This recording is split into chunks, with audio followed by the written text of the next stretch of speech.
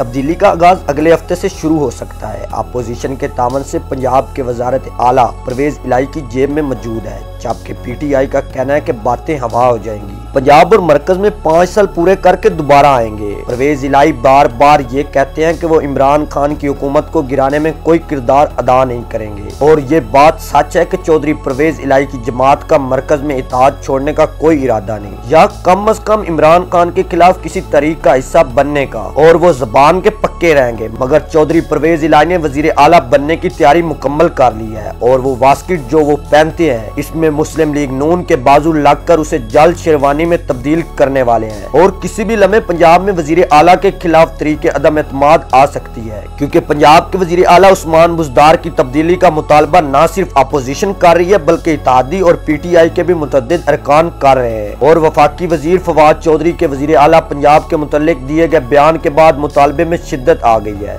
ذرائع نے بتایا ہے کہ مقتدر حلقے بھی ایسا چاہتے ہیں، کیونکہ عثمان بزدار ابھی تک سیکھنے کے مراحل میں ہے اور پنجاب کی حالت بدتر ہوتی جا رہی ہے۔ ہمیں مسلم لیگ کاف کے انتہائی اہم عہدیدار نے بتایا کہ اب پانی سر سے اونچا ہو چکا ہے۔ پنجاب کی عوام تنگ آ چکی ہے اور وہ چودھری پرویز الہی کی طرف دیکھ رہے ہیں۔ حکومت تبدیل کرنے کے لیے صرف بارہ ووٹ درکار ہے۔ جو چودھری پرویز الہی کے دس اور اکاڑا سے جگنو محسن، جو کہ معروف صافی نجم سیٹھی کی بیگم ہے اور ملتان سے قاسم عباس کو ملا کر سادہ اکثریت بن جاتی ہے اور بدلے میں پرویز الہی وزارت اعلیٰ کے حقدار پائیں گے۔ اس وقت تین سو اڑسٹھ کے ایوان میں حکومت کے ایک سو پچانوے اور اپوزیشن کے ایک سو ترہتر ووٹ ہیں۔ ان رہنماؤں نے بتایا کہ مسلم لیگ نون کے ساتھ جو بات چیت چل رہی ہے، اس کے مطابق وزیر اعلیٰ ہمارا ہوگا، جبکہ سپیکر اور سینئر وزیر نون لیگ سے ہوں گے اور دونوں مل کر صوبہ چلائیں گے۔